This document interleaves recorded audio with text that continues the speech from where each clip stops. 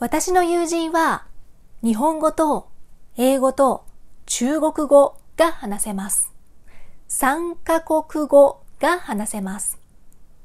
彼は3カ国語が話せることから通訳の仕事をしています。皆さんこんにちは、ことのなみです。今日は JLPT N3 の文型、ことからを教えます。この文型は、何々が理由で、何々が由来でという意味です。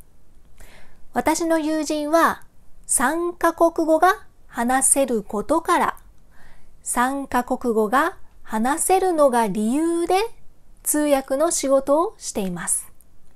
3カ国語が話せることから通訳の仕事をしています。すごいですね。今朝出かけたら道路が濡れていました。道路が濡れていましたから、ああ、昨日の夜雨が降ったと分かりました。道路が濡れていたことから、昨日の夜雨が降ったと分かりました。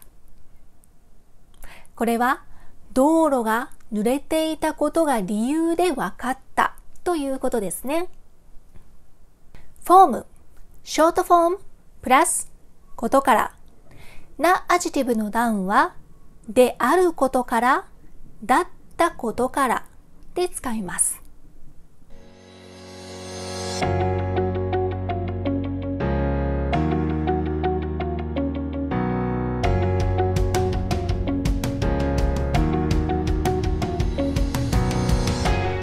皆さん今日もコドのビデオを見てくださってありがとうございますこれからももっともっとビデオを作っていきますのでよろしくお願いします。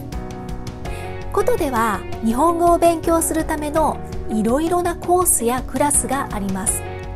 毎日コトで勉強したい方はインテンシブコース。1週間に1回か2回勉強したい人はパートタイムコースがあります。パートタイムコースの中にも JLPT のクラスや会話のクラスなどいろいろなクラスがあります。気になる方はぜひことのホームページをチェックしてください。ことのスタッフは英語が話せますのでお電話をいただいても結構です。どうぞこれからもよろしくお願いします。またね。Please remember to subscribe and turn on notifications.